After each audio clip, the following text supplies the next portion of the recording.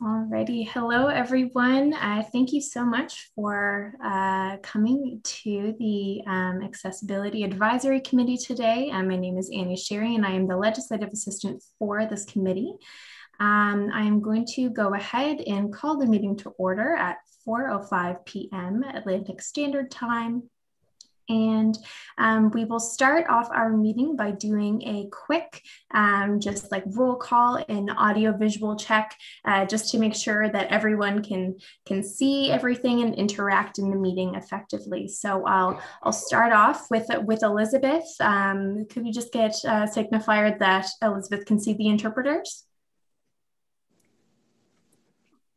Yes, uh, small uh, square for the interpreter, but it's good. We're good. Oh, okay, wonderful. Thank you so much. And uh, uh, Samantha Horn. All right, missing Samantha and Leslie Gates. Yes, here. Thank you, Leslie. and then we have uh, Osha Joshi. Right, now Osha and Nicole McDonald. Yeah, and just a small note on the uh, package that I was in, and uh, last name is spelled wrong. Uh, okay, it's MC. Yes. Okay, I will get that corrected for for the minutes. So thank, thank you, you, and my apologies about that. Nicole. No problem. Next up, we have uh, Rochelle Manette.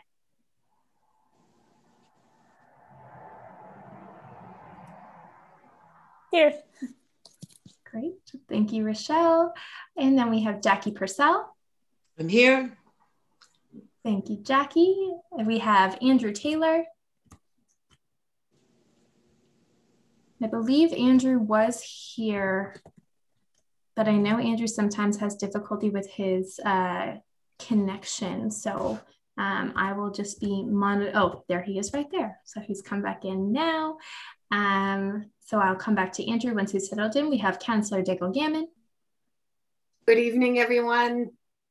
Pleased to be here. Thank you, Madam Chair, and the interim and the colleagues and staff. My pleasure. And I'll come back. Andrew, are you're good in the meeting now?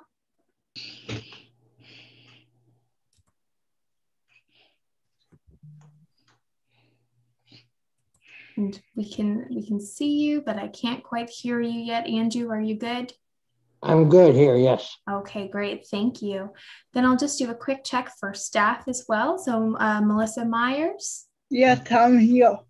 Wonderful, thank you. And then we have Lynn Llewellyn. Hi, hello everyone. Wonderful, thank you. And then we also have Darren Young.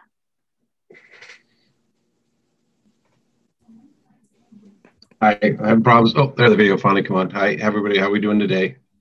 Wonderful. Thank you so much. All right, so um, we will we'll get started with our uh, with our meeting here today. So um, agenda item 1.1 is a new member orientation.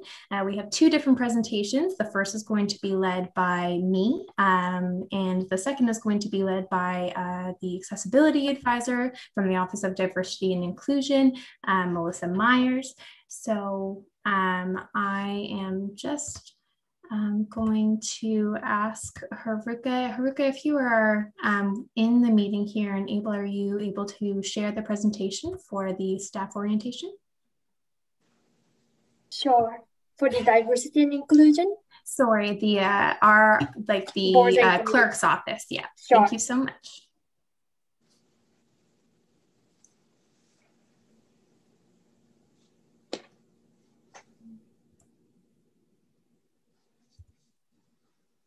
Uh, Madam Clerk, could you please promote me to co-host, please? Absolutely. And, you know, I think what I will do um, is I will just, uh, I'll share, I'll share my, my own screen. Uh, I'll share my own screen here just, uh, and then fix that after the fact. Um,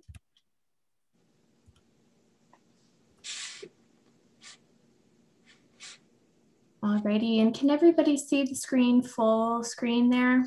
Okay, wonderful. Yes. Great.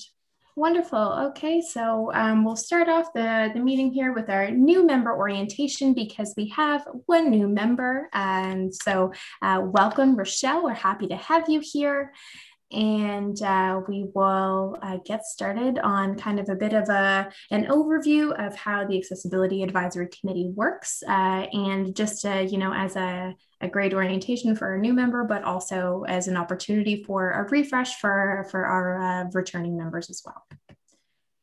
So um, the first slide here is a, an overview of the HRM uh, decision-making process. And I apologize for the, the size of this, uh, of this slide. Um, there's a lot of information to fit all onto uh, to one piece here, but um, this is available online for those who would uh, wish to take a, a different uh, look at this after the fact. Um, but essentially there is an, an overview of um, the way that kind of the um, HRM uh, is able to make their decisions and how the process works. So we start kind of at the grassroots level of um, engaging with residents, uh, community groups, not-for-profits and businesses. And uh, these groups all provide comments and suggestions on municipal matters through presentations, public hearings, petitions, correspondence uh, during public participation or by volunteering on an advisory board, like many of you are on uh, this uh, advisory committee. So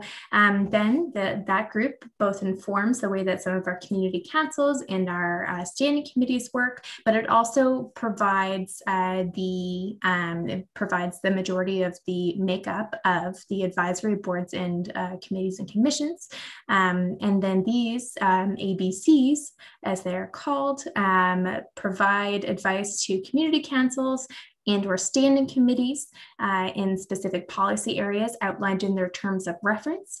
So in the terms of reference for the Accessibility Advisory Committee, uh, the uh, all of the uh, recommendations that are made, they go to the Executive Standing Committee before they are then delivered to Halifax Regional Council for their uh, final approval.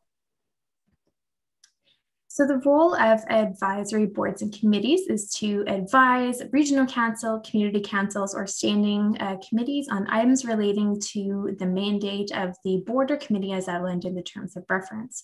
The role is strictly advisory um, with no final decision making or direction provided to staff.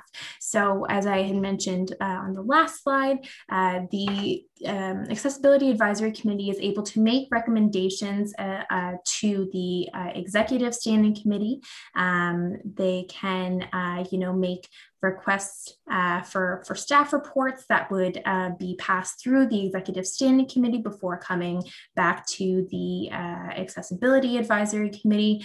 Um, but the Accessibility Advisory Committee has the ability, you know, to have uh, different business units uh, kind of present on, on topics of interest. Um, and this specific committee as well also um, is working on a work plan, as well as having the opportunity to uh, run an annual town hall on, uh, on accessibility within the HRM. Um, so the there are two kind of uh, pieces of legislation that inform the uh, the makeup and the mandate of the Accessibility Advisory Committee. The first is the terms of reference for the specific administrative order uh, that outlines kind of you know the uh, objectives, duties, the makeup of the committee, and all of that good stuff, um, as well as the executive standing order for committee terms of reference, which is administrative Administrative Order 1. Um, so just to give a kind of a bit of an overview of some of the pieces that are um, embedded within the terms of reference here, um, the committee shall advise council through the executive standing committee on matters related to persons with disabilities as follows. A, review and monitor existing and proposed municipal bylaws to promote full participation of persons uh, with disabilities. B, identify and advise on the accessibility of existing and proposed municipal services and facilities. C, advise and make recommendations about strategies designed to achieve the objectives of the committee. Um, receive and review information uh, directed to it by council and its committees, and to make recommendations as requested, and E, advise council on disability issues that may have an impact on the budget planning process through the budget committee of the whole process. Continuing on uh, with the specific terms of reference, um, the uh, next uh, point here is to uh, advise business units in responding to issues and concerns of persons with disabilities when requested to do so by the CAO uh, to host community consultations related to accessibility in the municipality, including an annual town hall meeting and report to executive standing committee on the issues identified through such municipal consult or community consultations. Um, significant uh, municipal matters, plans, and programs having an impact on persons with disabilities and the disability community shall be referred to the committee for its consideration and recommendations to regional council through the executive standing committee. So you'll see that there within the terms of reference, there provides for, you know, different avenues that uh, the accessibility advisory committee is able to, uh, you know, advise um, other bodies on within the HRM and uh, a big piece around community consultations and the mechanism for doing that within this committee would be the hosting of the annual town hall, um, which I'm sure we're going to have um, great discussions about uh, in the future. Um, so all in terms of the the way that all uh, boards and committees are governed uh, within the umbrella of the HRM is through a, um, a piece called Administrative Order One, respecting the procedures of uh, of the council. Um, this is available on the HRM uh, website, and I uh, this was also uh, the link was distributed to members of the committee prior to today's meeting. Uh, so within Administrative Order 1 um, is some specifics around quorum and calling a meeting to order. So um, quorum for a committee is uh, half of, uh, is, uh, sorry, I'll start that again. The quorum for a committee of uh, council is um, having like an even number of members is one half of all the appointed members thereof.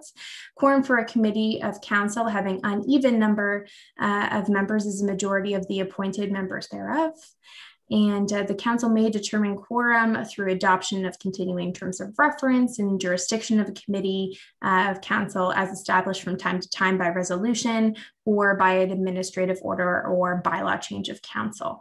Um, so if there were, you know, if uh, there was a desire to, you know, change the the general makeup um, of this committee, uh, you know, if they wanted, if you want to expand members, if you wanted to lessen the amount of members, um, the ability to to do so would be through um, changing the respective administrative order that outlines the terms of reference for this committee.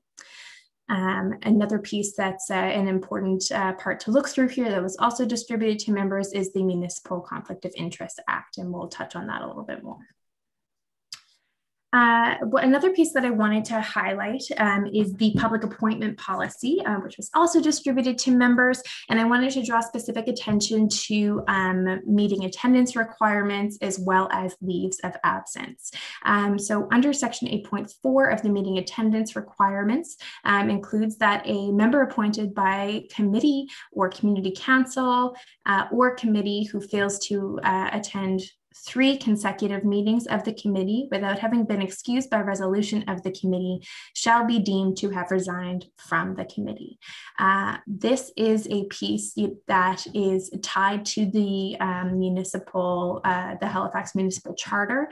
So this is not something that we have a lot of leeway on, unfortunately. Um, it this like piece around three consecutive meetings is uh, quite rigorous in terms of how we can um, mitigate the expectations of attendance uh, for the meeting so or for like the committee at large. So um, if you are unable to attend uh, a meeting um, we ask that you please uh, let myself know as the legislative assistant um, and then we can you know make sure that uh, you know we're keeping track of of your uh, your uh, like ability to attend uh, meetings Um, but there, you know, we recognize that there are also like different circumstances that, you know, might come up that may not allow folks to be able to uh, to provide a notice of, um, of absences. So, um, you know, the, another way to, you know, make sure that you are inadvertently kicked off of the committee for having missed three consecutive meetings in a row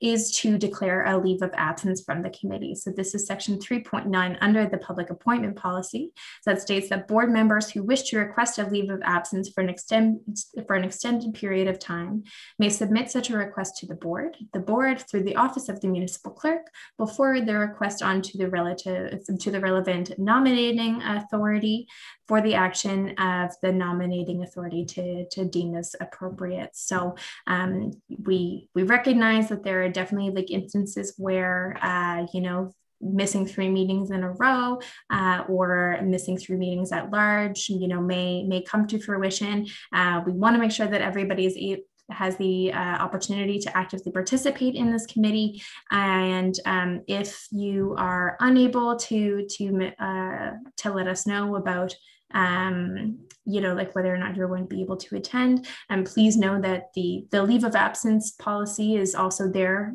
for um, as an option for you to be able to use. Um, but ideally, you know, everybody is is uh, coming to the committee and participating in all of that good stuff. But um, these are two pieces that I just wanted to draw everyone's attention to. So the roles of the chair and vice chair, um, they are elected annually by the members of the committee, and the vice chair takes on the responsibilities of the chair in the absence of the chair. So um, we will, you know, we'll have uh, a new chair, and uh, then we'll also go through the process of having an election for a vice chair immediately after. So um, that will be kind of our after our presentations over. That will be our our next uh, item of business. So the role of councillors, um, and there are two on this uh, advisory committee. So we have Councillor Kathy Daigle Gammon, and we also have Councillor Paul Russell. And their role is to establish and maintain the link between regional council and this advisory board and committee. So um, the councillors are able to provide clarity when the decisions of an advisory board or committee, um, of which they are a member, reach a higher decision making body. So if there was something that um, the committee, uh, the Accessibility Advisory Committee had decided that went through um, Executive Standing Committee and then was before Council. Um, either Councillor Daigle Gammon or Councillor Russell will be able to provide some clarity and speak to the motion.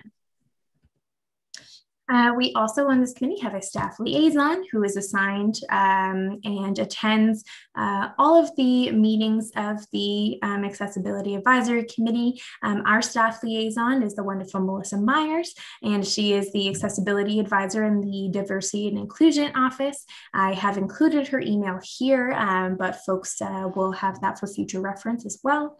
And Melissa will attend all of the meetings of the uh, of the committee and can provide support and advice from a diversity um, and inclusion lens as the committee works to uphold the duties and uh, objectives that are outlined within the committee's terms of reference. Uh, so the legislative assistant, who is me, um, represents the municipal clerk at meetings and um, must be present at all meetings. Um, so it is the role of the legislative assistant to facilitate the legislative and administrative functions of the uh, advisory committee and uh, make sure, you know, that we're kind of following the rules uh, that are outlined in all of these documents listed here. Um, so, uh, and if there's any additional legislative direction that's provided by the municipal clerk, um, I will of course be making sure that I'm bringing that to everyone's attention. Um, so my role as the uh, as the legislative assistant um, is like further to uh, coordinate meetings and create the agenda in consultation with the chair, provide legislative guidance and assist with drafting motions, uh, assist the chair to ensure appropriate medium decorum and safety, and take minutes, documents, board or committee decisions, and ensure openness and transparency in the decision making process. So the meeting agendas, um, agendas are, they set out the order of business for a committee meeting and uh, provide notice to committee members, HRM staff, and the public of what will be covered and in what order. Uh, so agendas are you know, provided in a format that is consistent with regional council and adapted for the needs of uh, each of the specific committees. And committee members can add matters to the agenda that are within the mandate of the committee by contacting the legislature legislative assistant. Um, normally, what we would do prior, like a week prior, to a meeting of the Accessibility Advisory Committee would be that we would hold it an agenda review with relevant staff as well as the chair and vice chair. Um, so, uh, but we can, you know, we can take different kind of items, um, you know, up until kind of, you know, like three days prior to the meeting. But normally we uh, we try to have everything kind of ready to be set in stone about a week prior to the actual date of the meeting. So just a quick piece around kind of going through motions. Uh, there's going to be a few of them today once we go into the election of the chair and vice chair.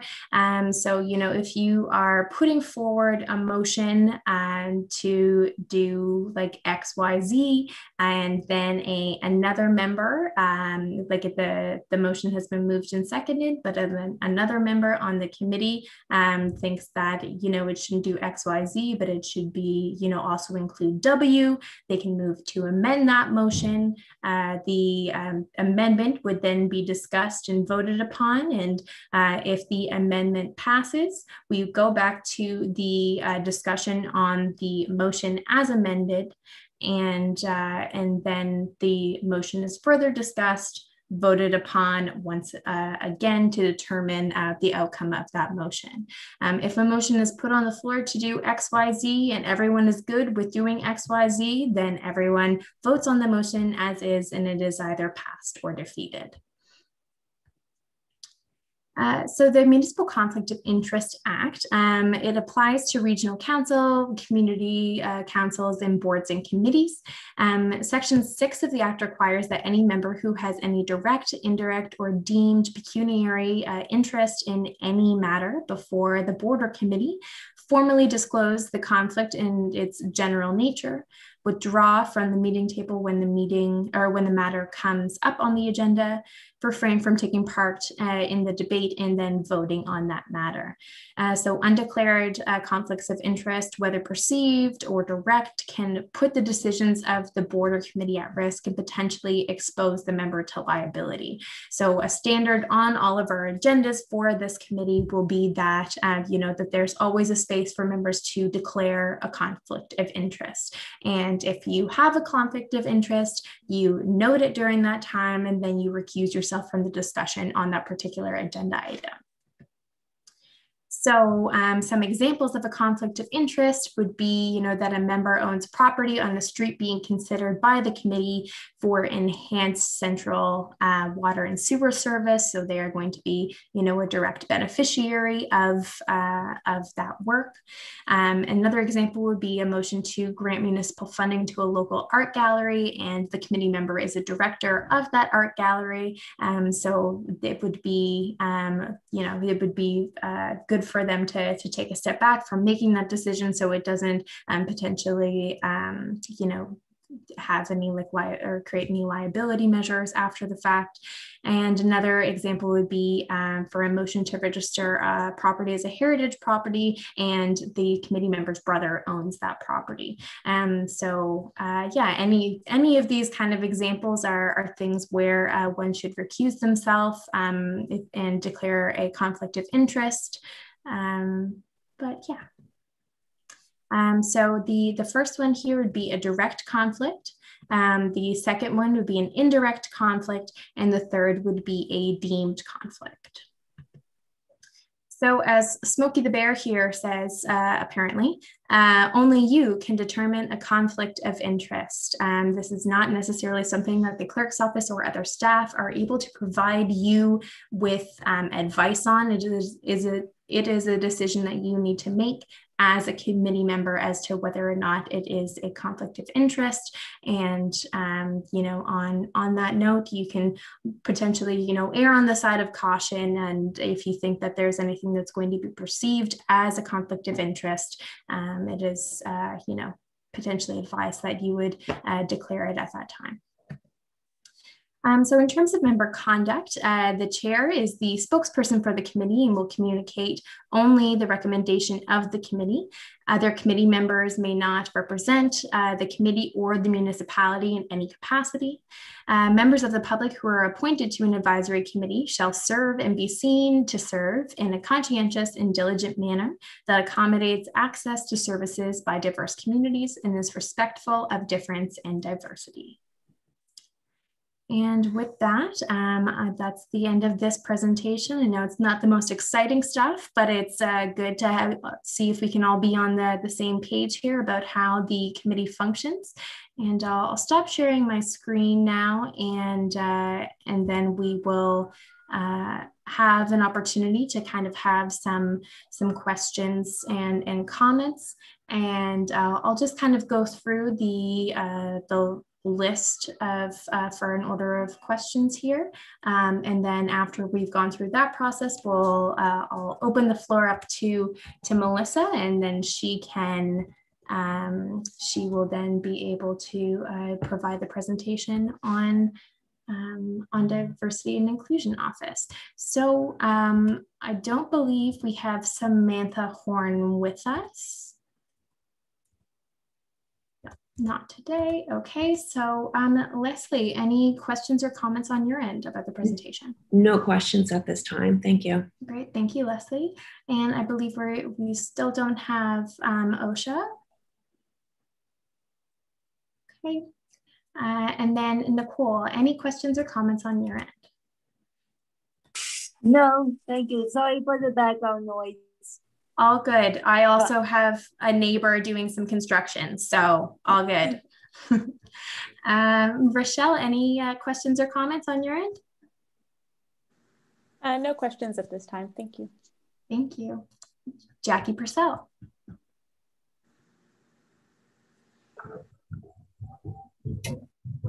No questions right now. Thank you.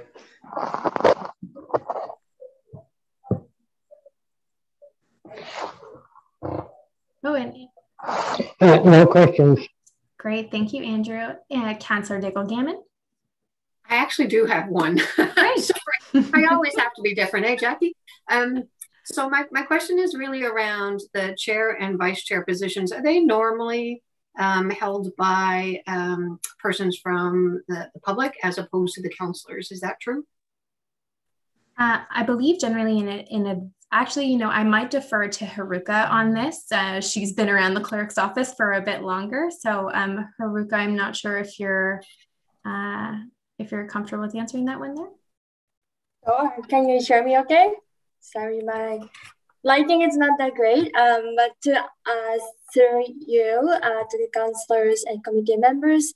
Uh, so yes, usually at the advisory board and committee uh, advisory committee and board level, usually members of the public uh, become the chair or vice chair. Uh, there is no rules surrounding uh, no guiding that the councilors cannot be chair or vice chair, but uh, from what I see in the past, it usually the members of the public becomes the chair or vice chair. Great. Thank you, Haruka. Any additional questions, Councillor? No, that's great. Thanks. Great, thank you. And uh, last but not least, uh, Elizabeth. You mean if I have a question? Yes. Yes, just one question. Okay. So, as a member of the advisory board, uh, we were to investigate a particular topic, for example, uh, 311, and we bring it back to the committee.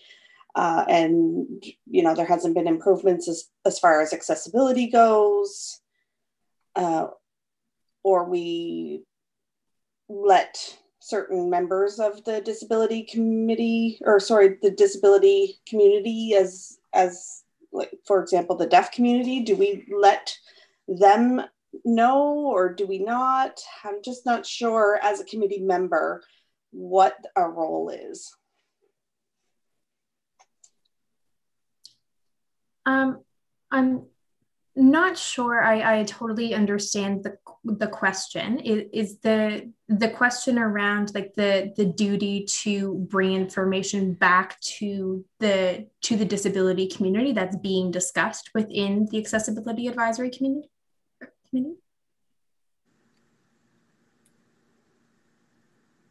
yes i was just hypothetically.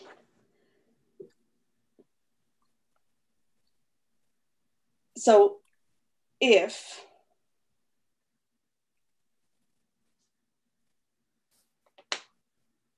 I were curious on a particular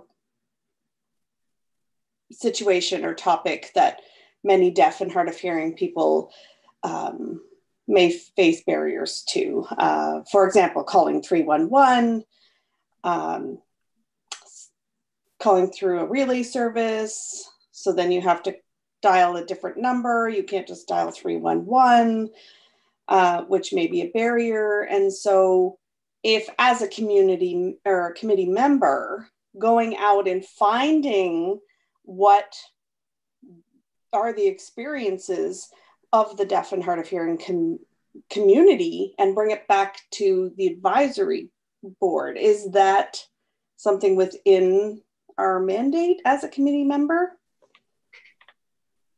Um, so I think, and, and, my I apologize, my answer is going to be a bit broad again, as I'm still new to uh, to the clerk's office here. But I my my understanding would be that in the mechanism for like you know doing consultation would be tied to the um, duties and objectives of the committee, as well as um, generally this would be maybe something that would be tied to a work plan. Um, so in terms of like doing consultation generally the main mechanism for that through this committee is the annual town hall. So you know it would be of the it would be the committee's um, uh, you know within the committee's purview to ensure that you know, um, members of the of the deaf and hard of hearing community are included within uh, the the space for the uh, annual town hall. Um, but generally, the the mechanisms for doing consultation would be agreed upon by the group uh, at large, and then uh, tied specifically back to um, the duties and objectives of the committee. And I'm not sure if that answers the the question, and, or if like Haruka, if you would like to to uh, um, answer that, if that if my answer is too like is too ambiguous. Yeah, and maybe I can just discuss this offline as well. Um, like for example, right now in this meeting, there's no captioning. There's no captions um, for deaf and hard of hearing um, com- the community. We benefit from having the ASL interpreters, but there are members of the deaf and hard of hearing community that do not sign, who rely on closed captioning, and we're not providing that in our meeting here today. And that's an issue. And again, as a community member, knowing that barrier exists, when do we bring that up in inside this committee. Right. Um, so uh, maybe, yeah, Haruka, I'll, I'll turn this over to you for a sec. Uh, sure. Uh, so thank you for the question. And just to add on to what Annie said uh, as an answer to the previous question, uh, so actually, if you take a look at the terms of reference, uh, section 6 B, for example, says that uh, this committee shall advise council through executive standing committee on matters uh, related to persons with disabilities, such as identifying and advising accessibility of existing and proposed municipal services and facilities. And for example, even this uh, committee, how the meeting being offered uh, can be part of the municipal services, for example. Um, so if the committee members are interested in uh, taking actions or bring some topic to the discussion, uh, the one thing that committee members can do is bring those topics to the chair and also include legislative assistant and let them know that I'd like to bring this topics as a conversation for the next meeting uh, so that those topics can be added on the agenda items for committee's discussion.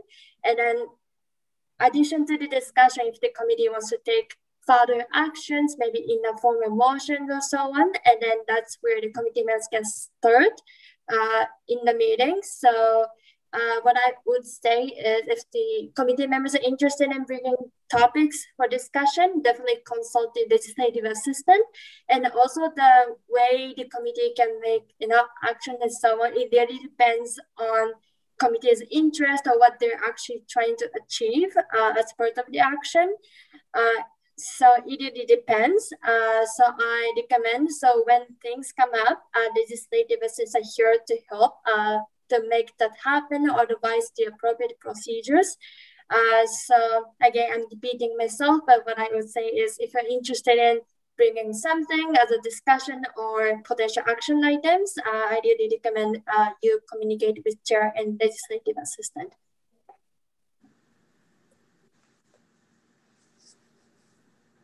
Thank you, Haruka. And the reason I didn't bring it up originally, you know, previously. And now, today, it's um, open to the public. So that's why I was bringing it up today that it should be accessible in both formats, both with sign language interpreting and captions. Thank you, and that point is certainly taken. Um, I, I, know that there are mechanisms within the uh, within the municipal clerk's office around uh, specific meetings uh, utilizing captioning services. Um, so that is uh, if you know if there's an interest there um, on on getting some more information around uh, around what that looks like or how you know budging is allocated on that front that is something that um, Haruka or myself could bring back uh, to a future meeting for sure.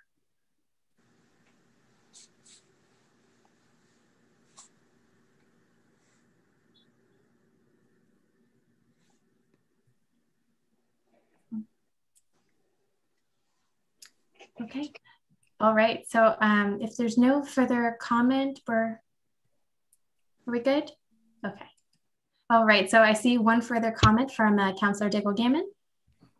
Um, actually, Haruka did a, a, really good job there. So uh, I might not have a whole bunch, but I was I would think that just generally speaking, um, to the to the question of process when information comes to this committee, and in terms of how we respond back, um, the, the chair responds on behalf of the committee. But if there are action items, I would think that they might, um, depending on what the topic is, it might go back to the staff within the Office of um, the Advisory Committee and Inclusion, Diversity and Inclusion, and then they might then um, respond back to, to the to the specific community that might have a question or a need.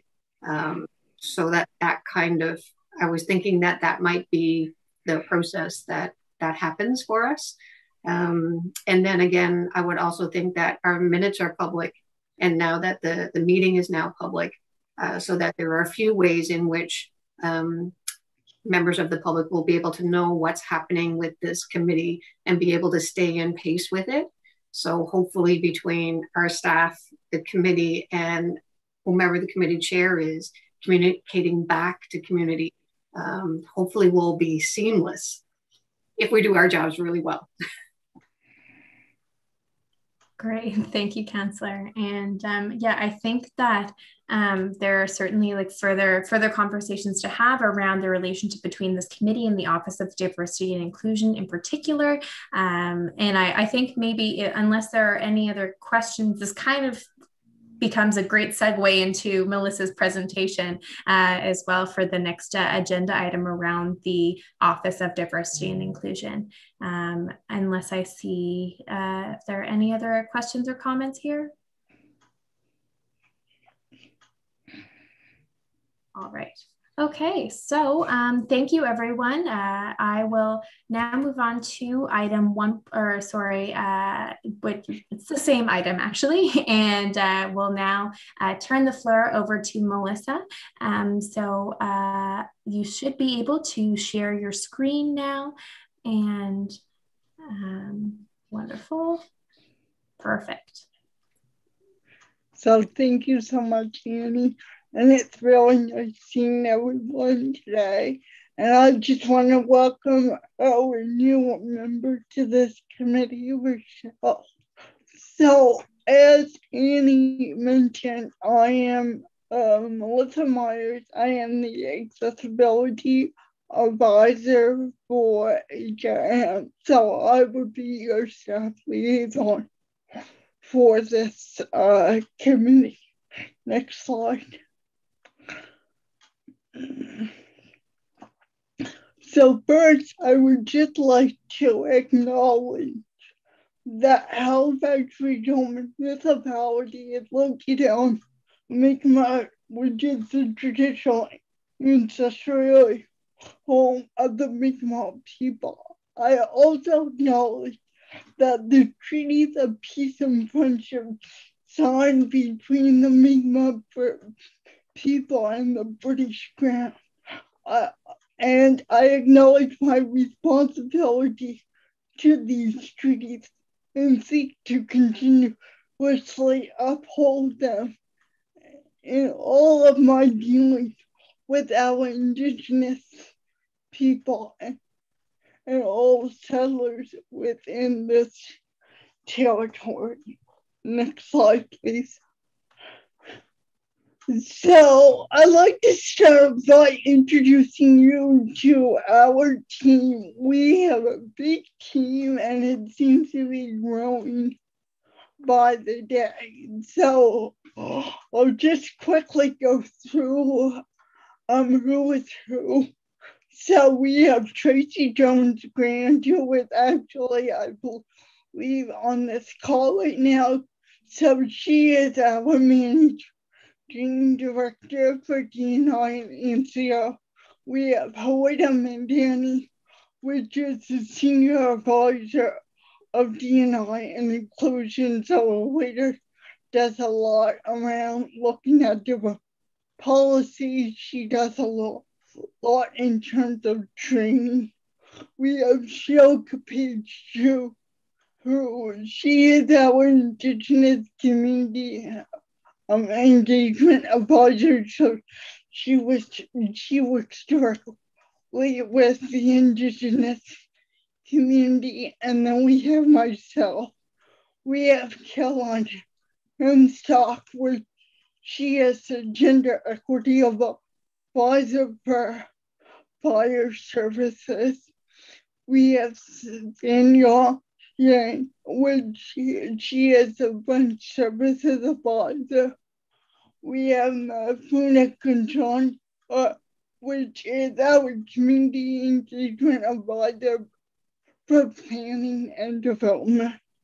We have Roberta Montiel, which he works with the local immigration partnership coordinator. Next slide.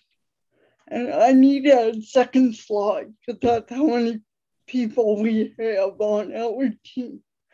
So we also have Ayo Aladejebi, uh, which is the senior advisor for African Nova Scotian affairs. We have AJ Simmons, which is our uh, community outreach with the African Nova Scotian community. And our newest member is Russell Brooks, and he will be working as the anti-black racism project coordinator. Next slide. So what does our office do? So we do quite a few things. So first, we provide support and advice to business units and stakeholders on development and implementation of diversity and inclusion, inclusion plans within HRM. We also support business units and others on specifically on specific diversity initiatives. We promote diversity and inclusion internally as well as externally. We also provide diversity and inclusion training to municipal staff, and we do that on a regular basis.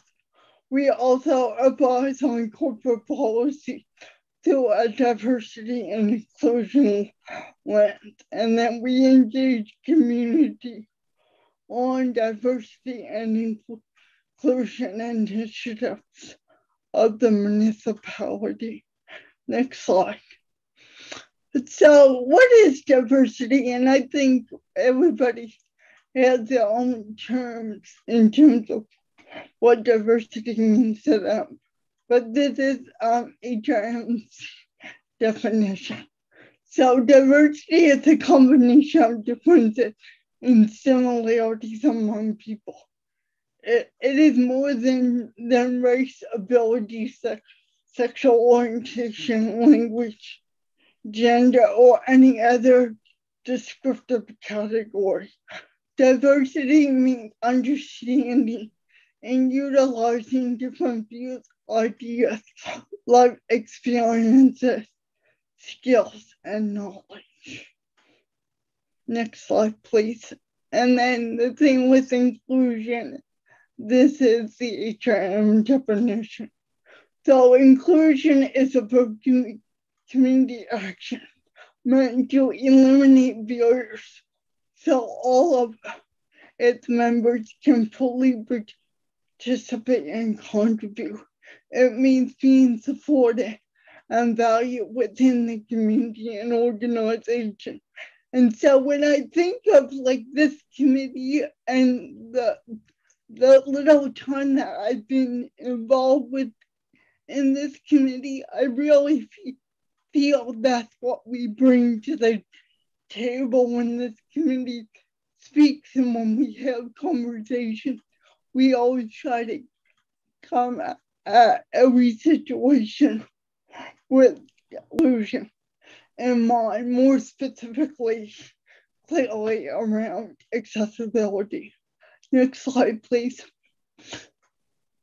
So, diversity inclusion, we do have a framework that was developed, I believe, in 2015.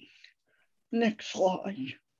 So, within the framework, these are the five framework goals that we always kind of keep in mind as we go through our daily work. Work, and it's something that all business units also keep in mind when they think of being DNI as well. So the first one is inclusive public service.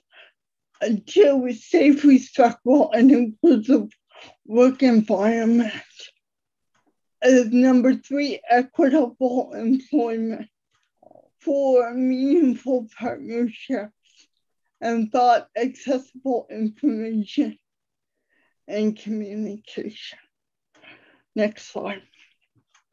So this slide, we just want to recognize that today we all are bringing something to the table and we don't often think about it. And I think that is what's awesome about committees like this. We all have our own experiences. We have our own you know, understanding everything. And that's what is so critical about this committee and how we can move things forward. Next slide. So when we think about diversity inclusion, how do we embrace DNI? So by promote different perspectives, increase skills and new methods and encouragement to also support people's sense of belonging and safety. So we want people to feel safe and belong within the municipality. Create space where people feel respected, engaged, and valued. A reflective of the residents served by the municipality. And that's what this committee also does. See increased productivity and innovation. Um, and have individuals who are engaged. Um, reduce turnover, reduce conflict, and have a respectful environment for our meetings. Next slide. Collectively, we all have responsibility when we think of diversity and inclusion. So, for instance, support HRM in the delivery of services that amplify HRM's commitment to diversity and inclusion. Recognize diversity is a strategic priority of the HRM Council and as well committees. Promote diversity inclusion, champion diversity efforts to the work that you do on this committee. We all need to also lead by example, create and maintain an inclusive environment that supports everyone, and speak out and speak out against discrimination and harassment, and be respectful of each other's. Especially, we might all have different opinions when we come together. So just be respectful and mindful of people's opinions. Next slide. And this, I think, is one of my manager's favorite slides. So just to keep in mind, diversity is being invited to the party. Inclusion is being asked to dance. Next slide. And I just want to thank everyone. And if anyone has questions, I'll do my best to answer them. So, Annie, I don't know, since you have the list of attendees, do you want to go around with everybody's name to see if anyone has questions? Yes, absolutely. I'd be happy to do that. Thank you so much, Melissa. So, um, if there are any uh, questions from Melissa, we will start uh, with Leslie. I no questions. Thank you so much, Melissa. Wonderful. Thank you. Uh, Nicole McDonald.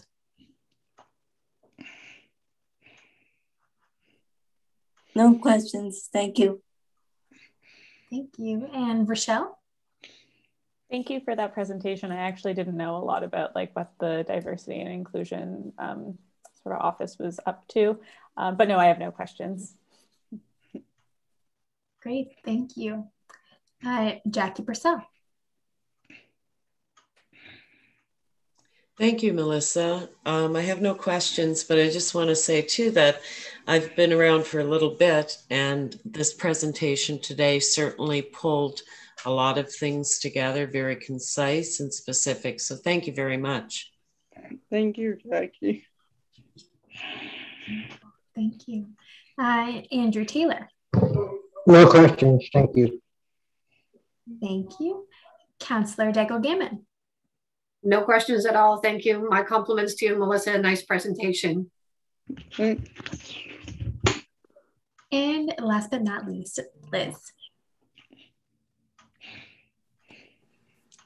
Good job. I appreciated it. Uh, two years ago, I had a similar presentation, but it certainly has grown and it's a great information. Thank you. Thank you. Wonderful. And that is all of our uh, committee members, I believe. So thank you so much for your presentation, uh, Melissa. We're um, very grateful to have you here with us and uh, look forward to interacting with the Office of Diversity and Inclusion moving forward. So um, with that, um, agenda item 1.1 comes to a close and we will move on to the annual election of the chair and vice chair. Um, so I will give just kind of uh, an overview of the what the process is going to look like. Um, uh, and then uh, essentially I will run the election of the chair. And then once the chair has been elected, uh, they will then take over and run through the election of the vice chair and uh, going through the uh, the rest of the meeting here. So uh, just to kind of give a, an overview of what this process looks like, um, if you or uh, like if you would like to nominate yourself for chair or you would like to nominate someone else for that, um, it must be moved and seconded. And uh, then after that point, we will do a, a, call to see if there is any further nominations. Um, we'll do that until uh, folks are satisfied with, um, you know, whether or not folks would like to be put forward as the um, as the potential chair for the committee. I will call three times for further nominations, and uh, once uh, once that has been satisfied, I will then look for a mover and a seconder to close the uh, close the nominations for the position of chair. If there is one person whose name has been put forward, then they will um, be acclaimed as chair and that will need to be voted on by the committee.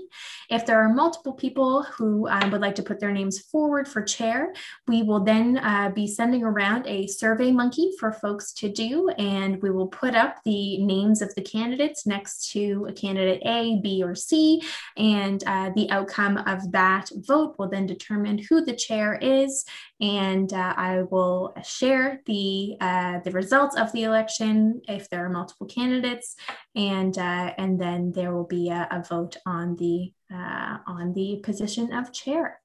So, um, are there any questions or comments about the the process first before I move to open the floor?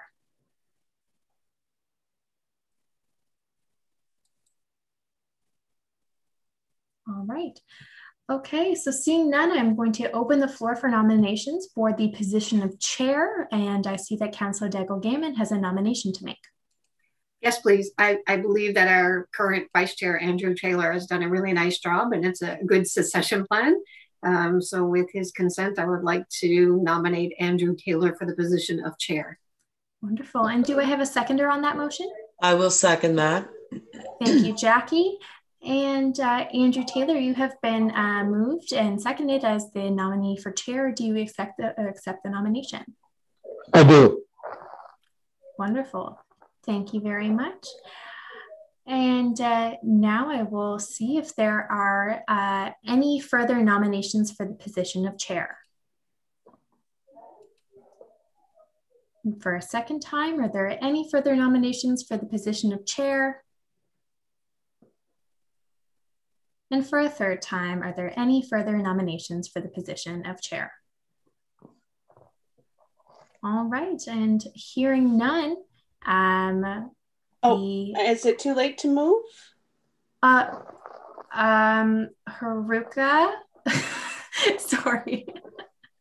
um, after the third call, does is it too late to move for a position or for someone I believe to... that was the third call, but the motion to close the nomination has, has not been made right. yet. So right. So then, thank you, Haruka. Um, very okay. grateful that so, Haruka is here for all things clerk, as I am very much still learning. So, uh, Elizabeth, yes, there is an opportunity to, uh, for um, for a nomination to still be made.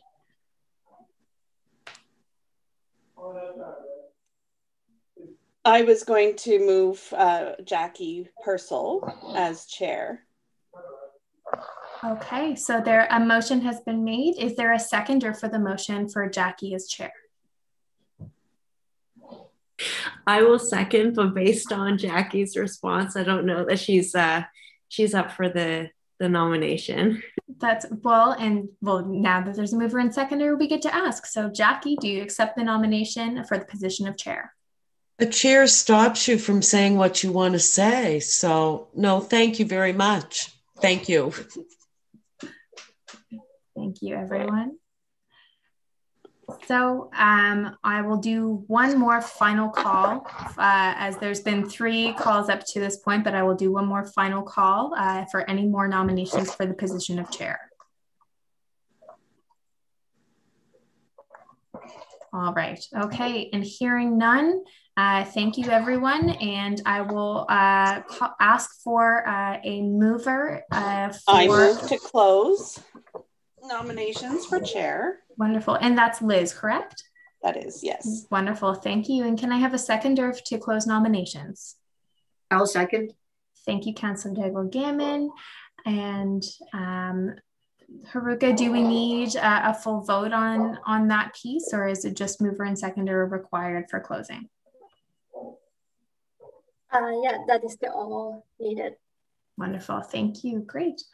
All right, so nominations have been closed, and uh, with that, um, the Andrew Taylor has been nominated uh, for the position of chair.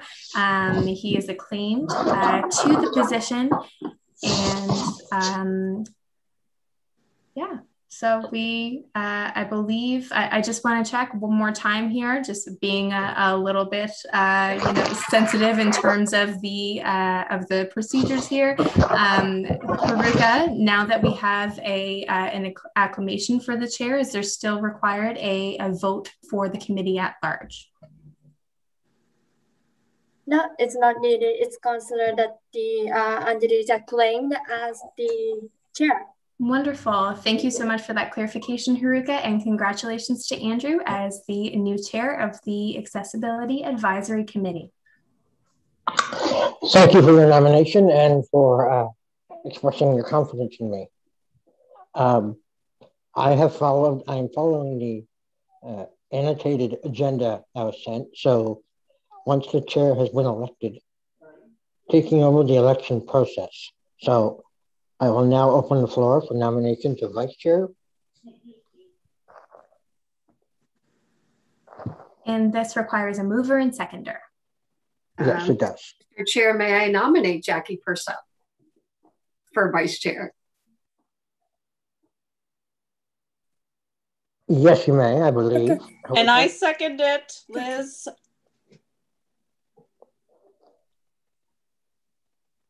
Okay, we have a mover and a seconder. Jackie, do you accept the nomination as vice chair? Yes, I would accept that as long as you promise me you'll be at every meeting, Andrew. I will do my absolute best to be at every that's, meeting. Yeah. That's all we need. Thank you. You're very welcome. Are there any more nominations for vice chair?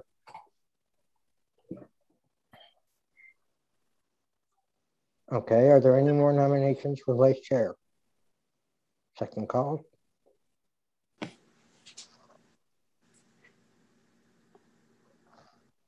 Okay, third call. Are there any nominations for vice chair?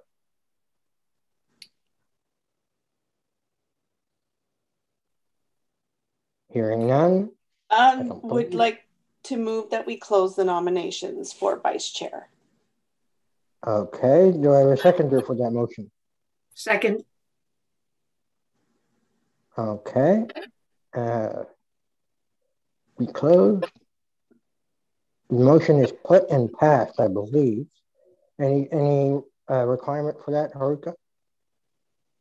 Uh, that is great. We have mover and seconder, so it means that the nomination has been closed. Okay. Uh, so I've heard no other uh, nominations, so the vice chair has been chosen. Am I correct? It sure has. she sure has. it is. It is my house, but I'm also very reluctant to move in without somebody else's uh, suggestion for now. I'm very new at this, so forgive me. All right. All those in favor of the motion signify by stating aye. Aye. All those opposed? Aye. Okay, unless my connection is slow, I'm hearing no opposed. So congratulations, Jackie. You are the vice chair.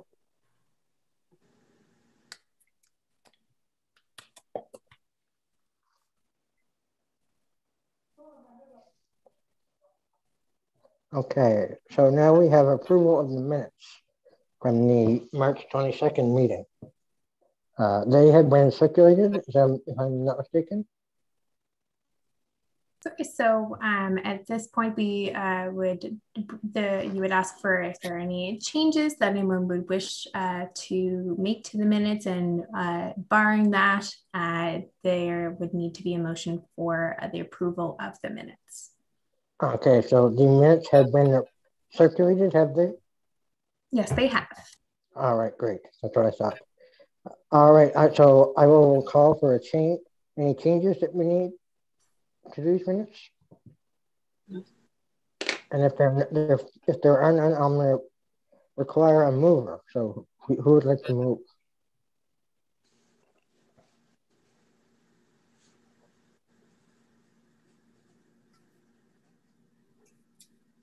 I'll move. I'll second it. Great. All those in favor? Aye. Aye. Any opposed? Hearing none, I will say that the motion carries. Have we looked at the order of business for this meeting? And do we have any additions or deletions?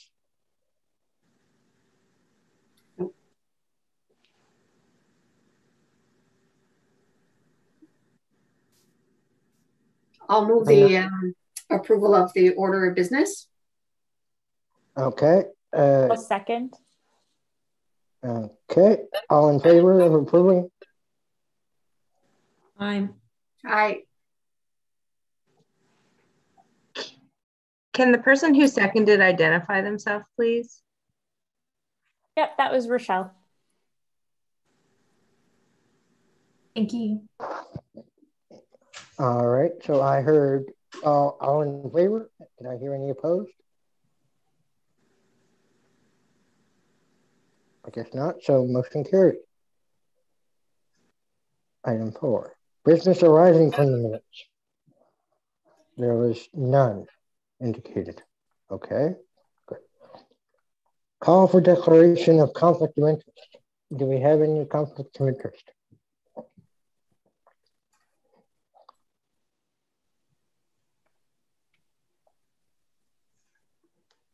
Hearing none. Okay.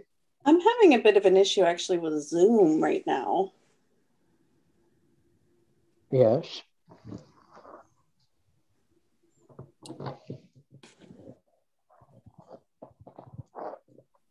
What is the issue?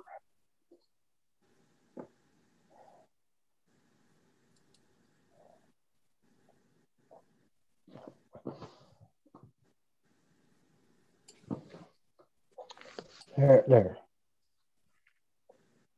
My, my Zoom just signed me out, so forgive me. There we go. Oh, the wonders of technology. Uh, so consideration of deferred business. We don't have any. Okay, correspondence. Do we have any correspondence for this? Thank you, Mr. Chair. There has been no correspondence received for this meeting. Uh, petitions, I see none. Presentations, I see none. Uh, information items have been none. Staff presentation on accessible pedestrian push buttons. Uh, Tasso, I believe you have some presentation to make.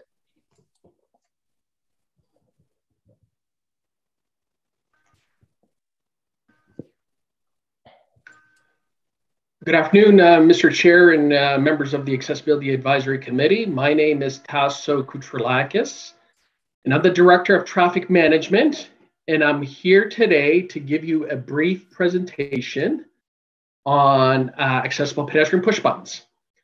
So, uh, Sherry, I believe you've given me the ability to share my screen. I sure have. Okay, let me see how this works now.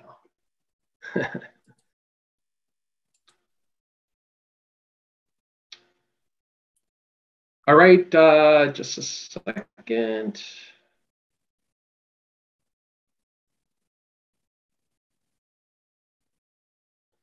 Is that, do you see my screen right now? Yes, you're all good in your full screen. And I would just ask that you turn that your enable your camera again so that Liz Okay. can so everyone can see you, but especially for for Liz so that she can see All who's right, speaking. it actually, it it reverts back to, once you do the switch, it reverts back to stop video. So there you go. Okay. Perfect. Thank you. think think we're good. So, um, so yes. So, um, second here, I'm getting uh, some sort of notice here. All right. Um, I, I want to give the committee a bit of background uh, as far as why am I here. So, staff delivered a pedestrian push button report to the Transportation Standing Committee on February 25th and I believe the uh, the clerk has um, circulated the recommendation report that was uh, submitted to uh, TSC.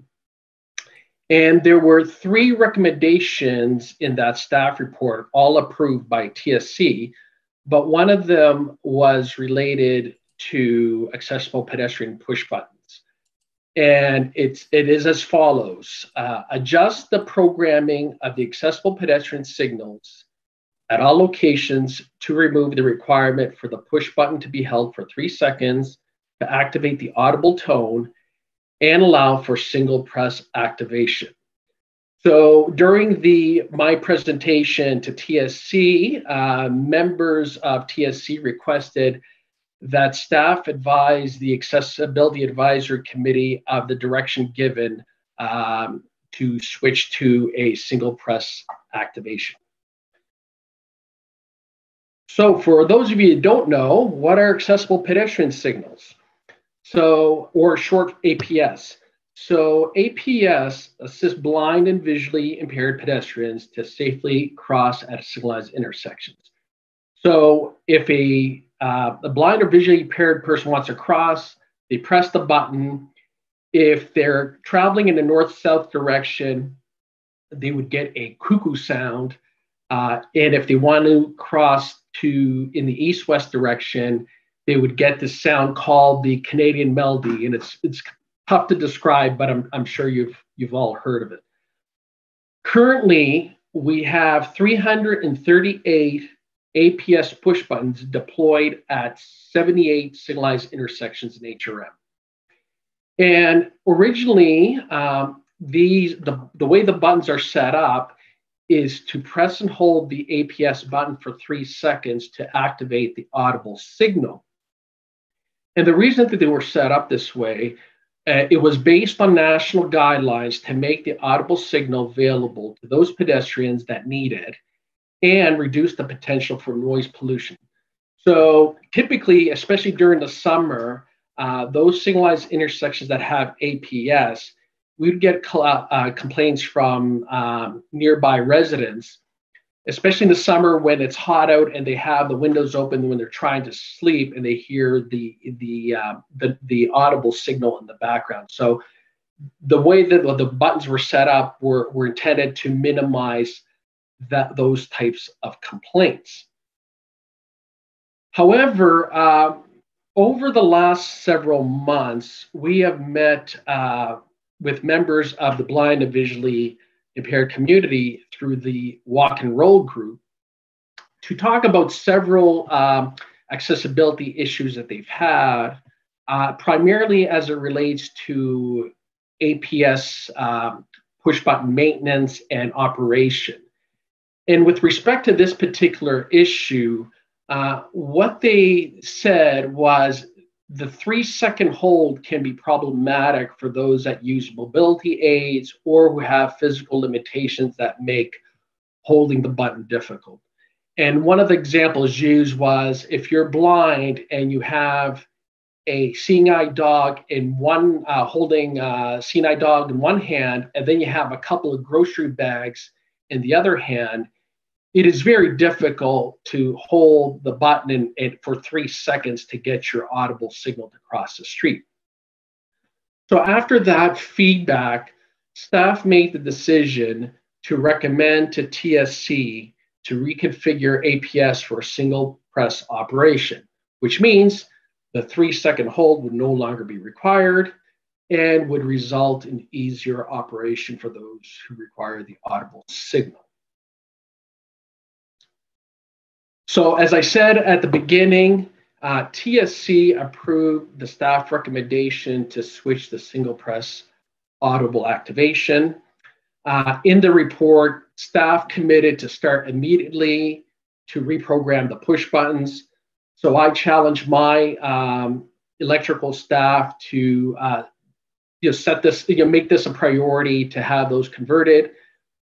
So approximately six weeks later, as of April 9th, all 338 APS buttons have been switched to single press audible activation. And uh, what we've heard uh, from those uh, advocates, uh, they were very pleased uh, with this change, and they were very, you know, especially in the time frame that this work was completed. So finally, uh, I just want to highlight some other APS related work that has been completed or is currently in, progress in progress since I'm, since I'm here anyway. Um, one of the things that we're working towards is a monthly APS button inspection. So in those discussions with advocates, what we heard was that they're concerned that they come to an intersection and the button's not working. And just to give you some background, our service standard to uh, to do a preventive maintenance check at all of our signalized intersections is once a year. So we check every component of a traffic signal once a year. Last year, as a result of feedback uh, received, we upped the uh, inspection of our accessible pedestrian signal buttons to twice a year. And quite frankly, that is that is the capacity that we have within our electrical group to do uh, to do that you know that frequency of inspection. However, uh, during our TPW uh, business planning and budget presentation to regional council last month, what we committed to was working towards a monthly APS button inspection, recognizing that it's very important for those that need it. So right now we're th- this is a work in progress. Uh, we're we're looking at leveraging other HRM staff that work within the right of way on a daily basis on daily basis to do um, to do this monthly uh, basic inspections for us. So that is a work in progress um, right now. In addition, uh, we completed two training sessions with our APS vendors and manufacturers um, in, in order to make sure that all of our staff that work on these buttons um, are trained to a particular standard. Flowing out of those training sessions, uh, what we completed, and in this slide, actually, uh, it says developing, but uh, as of uh, a couple of days ago, this was completed. Um, so we've completed a documented standard for equipment installation and setup of the accessible pedestrian signal buttons, and also developed a standardized uh, APS maintenance checklist. So when staff go on site to do their detailed inspection, there's a checklist that the staff can follow.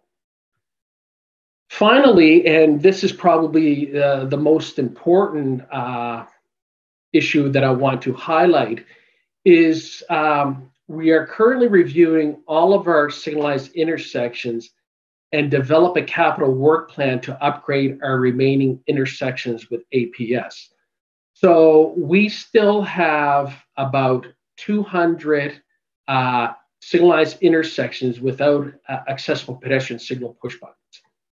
And so just to give you some, some background, um, for many years, our standard has been that anytime we install a new traffic signal or conduct a significant upgrade to our traffic signals, we install APS.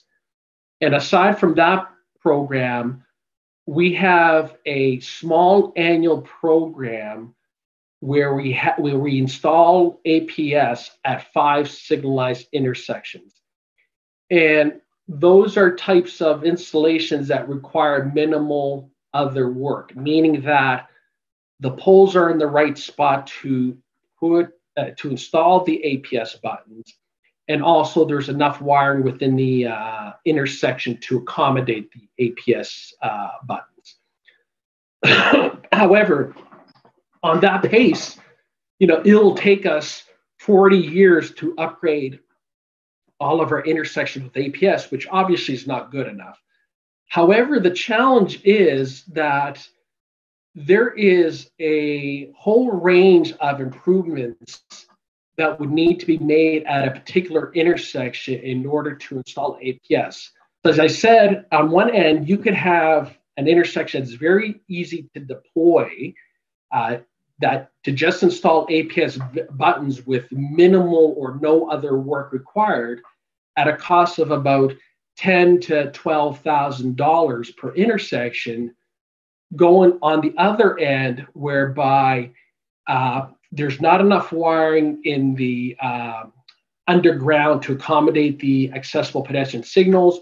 The poles are in the wrong place to put accessible uh, pedestrian signals, which would require a complete intersection upgrade, which can run anywhere between $200 and $250,000.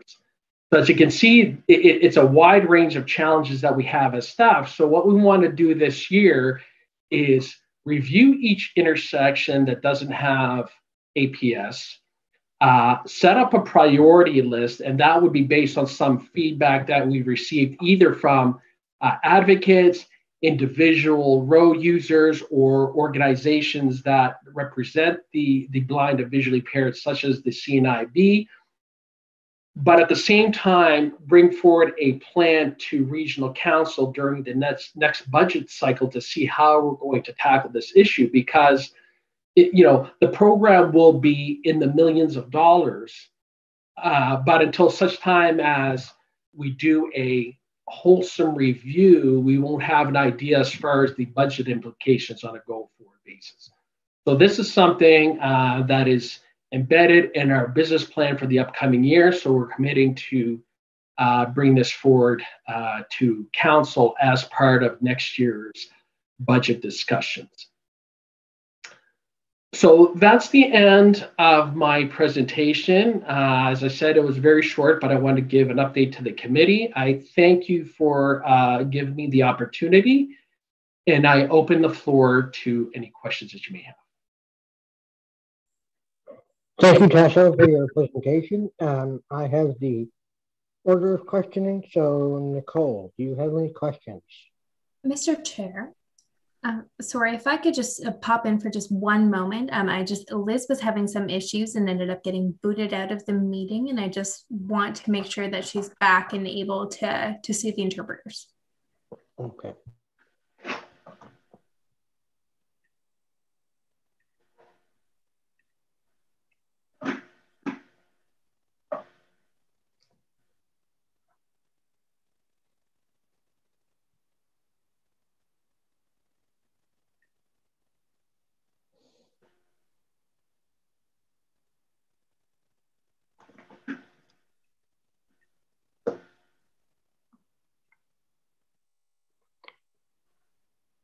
Are you with us?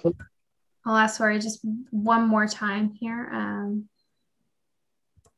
I can see that Liz is in the meeting here. I just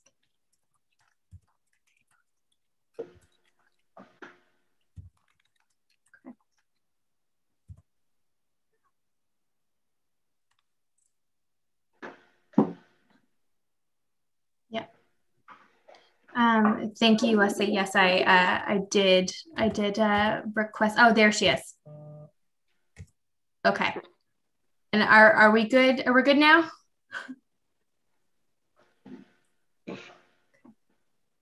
Good.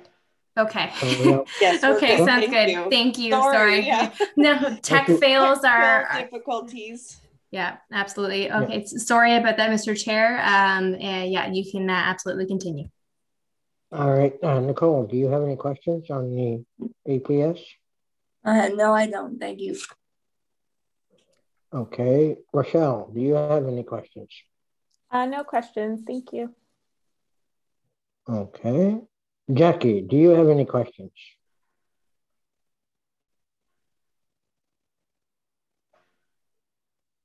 No, I don't, Mr. Chair. Thank you. Councillor Daigle. I do have a, uh, a question, if you don't mind. Um, thank you for the presentation. Um, so I'm going to try to say the last name. Kotrolakis? I'll give you a 9.5 out of 10. Yes. on the, I'll, I'll, take it. I'll take it. Um, I'll take it too. on the 200, um, on this line, like there's another 200 streets. So as a new councillor, I'm learning all this language around the, the service boundary. So are those 200 uh, within a specific um, transit boundary or are they mostly urban? Does it also include maybe some suburban intersections? I'm just curious about where they might be primarily located. Uh, that's a, a, very good question, councillor, especially since you're uh, uh, fairly new. Uh, yeah, so the, these are traffic signals that are currently owned and operated by HRM. So these would be uh, intersections within our, core, within our core service area boundaries. So, for example, in your neck of the woods, yeah. Uh, like Fall River Road at the Sobeys there would be included. Like that, that's ours. Okay? okay. So yeah, so being the suburban rural area, a suburban suburban area is occupied by owned and the, the streets owned and maintained by HRM. So this would not include like NSTIR intersections. Right. Yeah. Great. Thank you. That's good to know. I'll watch for the budget. uh, won't we all? Uh, Liz, do you have any questions?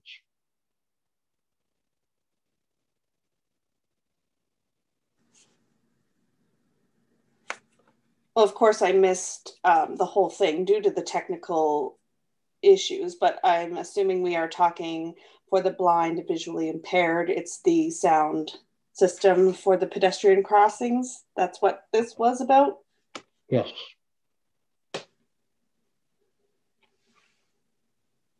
And I do have an issue with the pedestrian crossings uh, about if you're going right, uh, and sometimes uh, buildings or trees, uh, I'm able to turn right, but I won't because I can't see anything uh, oncoming because of larger buildings or plants that might be in the way or trees.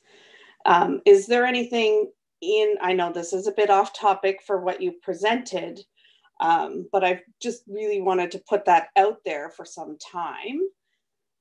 Uh, at certain intersections where the buildings are bigger. Uh, for example, Agricola and North,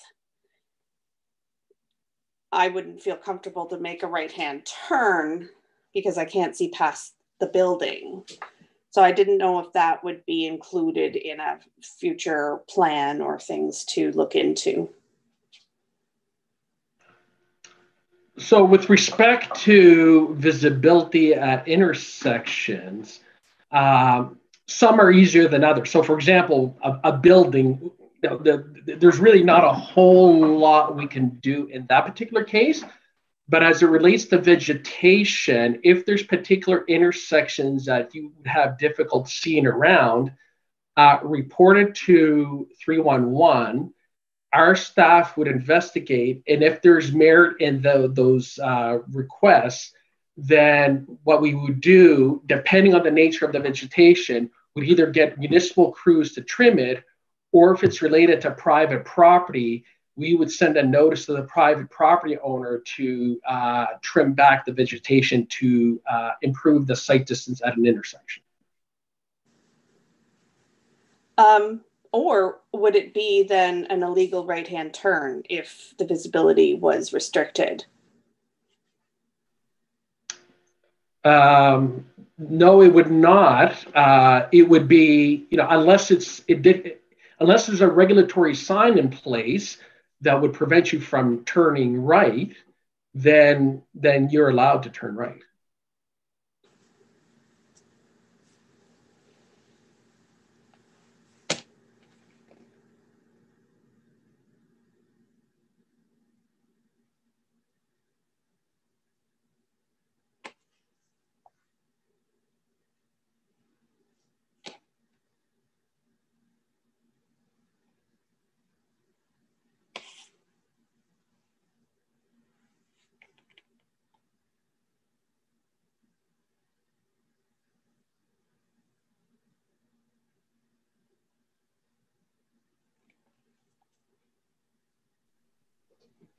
And Mr. Chair, I, I believe that Liz has finished her, her questions. Yeah, I am. Okay, great. Wonderful. Thank you.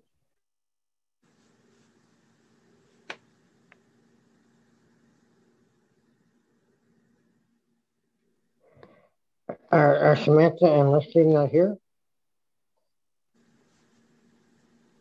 I'm sorry, Mr. Chair, did you say Leslie? Yes. Oh, yes. Uh, thank you very much for the presentation. I don't have any further questions. Thank you. Thank you. So I believe that's everyone accounted for. Okay. Uh, committee member updates. Uh, I see none. Is that correct? Annie? Uh, yes, we've received uh, nothing in advance of today's meeting. Excellent. Uh, added items. I see none. Is that correct? Yes, it is. So the date of our next meeting is May 17th, 2021. So with that in our minds, I will call for a motion to adjourn.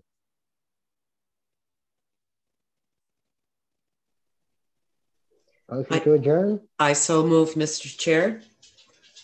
Thank you very much. I can, I will now state that the meeting has been adjourned. Thank you very much. It is Thank you. adjourned at seventeen thirty-five. So five thirty-five. Congratulations, Chair and Vice Chair. Thank you very much. Thank you, Council.